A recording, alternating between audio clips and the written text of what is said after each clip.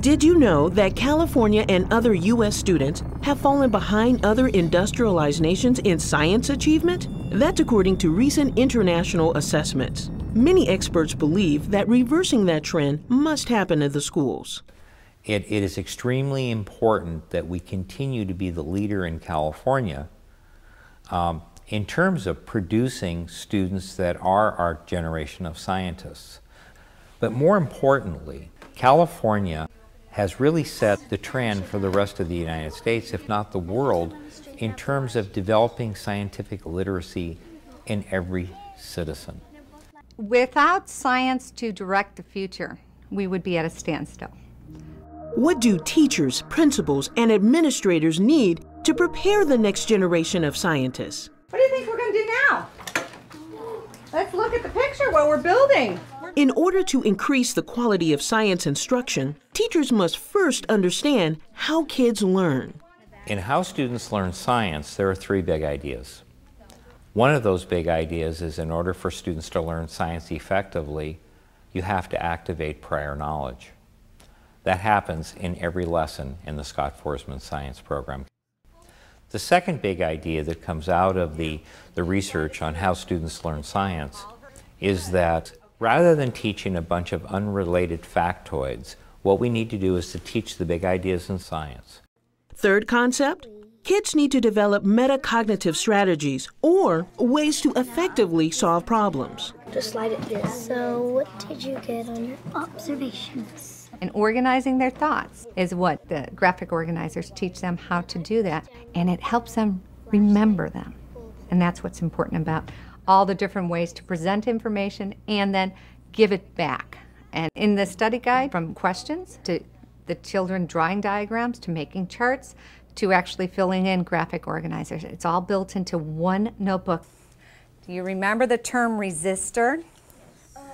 Ah, that's one California school district is using a comprehensive, research based approach to prepare science students today for the challenges of tomorrow. We looked at six programs and then chose two that we used in the classroom. And the one that we wound up voting for is Scott Foresman. And it was basically, it was user-friendly to both veteran teachers and new teachers. Easy is important for me because as a teacher, you have many, many different subjects that you're responsible for. And to utilization of your time and to be efficient with your time is the most important thing. How can one program give all students a distinct edge in learning science? The Pearson Scott Foresman California Science Program is specifically designed to meet the diverse needs of children. By laying an important science based foundation in elementary school, future success can become a reality.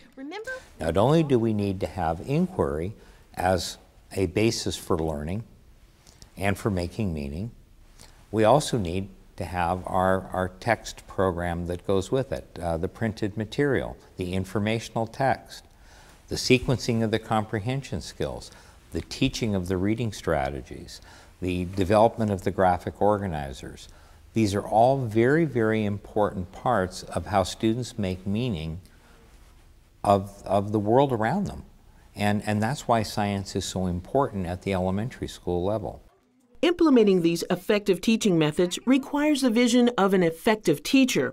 Easy to use unique features like a 30 second lab setup allows a teacher to spend less time preparing a lesson and more time teaching it.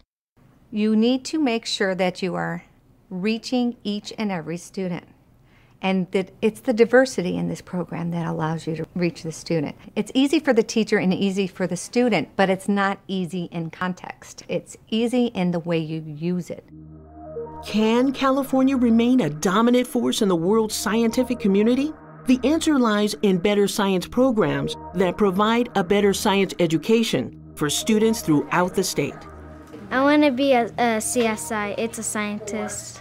In a final analysis, when, when one will examine the Pearson Scott Foresman California Science Program, not only is it directly aligned to the California standards, it is based upon fundamental principles of how students learn effectively.